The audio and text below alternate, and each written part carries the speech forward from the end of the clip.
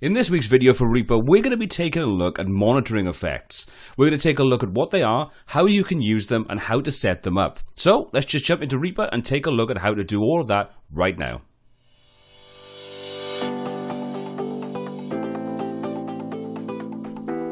So what exactly are monitoring effects in Reaper?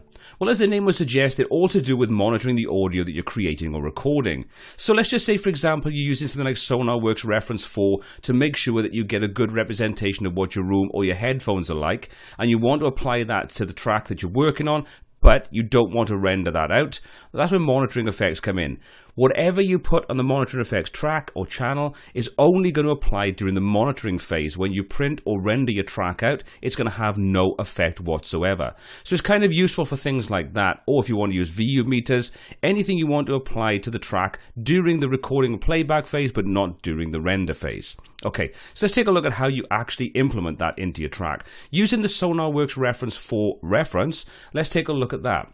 So in the previous video I did the demonstration, you'll probably notice that what I did was I put onto the master effects. And what that does is means I've got to manually disable that before I render the track out, which as was rightly pointed out in some of the comments on that particular review, is not necessarily the best way of doing it. So, monitoring effects is where this comes in. So, what we need to do is first of all go and take a look at that. So, we come to the view menu, you can see monitoring effects is an option in there. We click on that, that'll open up the effects monitoring window and also load in the effects browser so we can go and choose what we want to actually place onto our effects monitoring section. Okay, so let's just use that example. So let's just do the SonarWorks again. So let's do Sonar and let's just make sure I look at everything, all my folders. So there's our SonarWorks reference 4. So I'm going to simply drag that up, drop it on there, and you can see that now loads it in. You'll see that also in the top right hand corner we have monitor effects enabled. So in other words, it's green showing us that that is currently having some form of monitoring effects applied to this track. So before we take a look at that, any more of that, let's take a look at what this actually means to us. When we create a monitoring effects chain, it applies to not just the project, but the entire instance of Reaper. So if I just show you another example, if I open up another new project tab, so I'll create a new project tab, you can see now that that means that the monitor effects is available in the top corner there. So whichever one I choose, I've still got that enabled. If I click and open it up, you can see there's my SonarWorks reference 4 software. So whenever you've got anything placed on the monitor effects, all of the projects you open up inside Reaper from that point on will have that applied to it.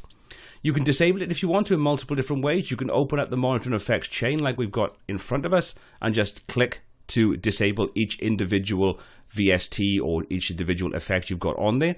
Alternatively, you can simply click on the little on off icon on the right hand side. It'll then turn red to tell you you've got monitoring effects on your particular track or your, your sessions of Reaper, but they're disabled. So you've always got that way of easy enabling and disabling those.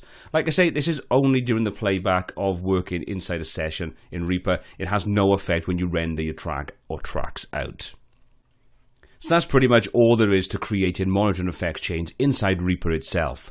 Obviously, be careful when you're doing this because anything you place in there that will affect the sound during the playback phase that you want to affect the sound during rendering phase will be ignored. So if you put EQs in there, for example, that would influence it, and then obviously you mix based around that EQ, when you render out, that is not going to be part of the actual render phase.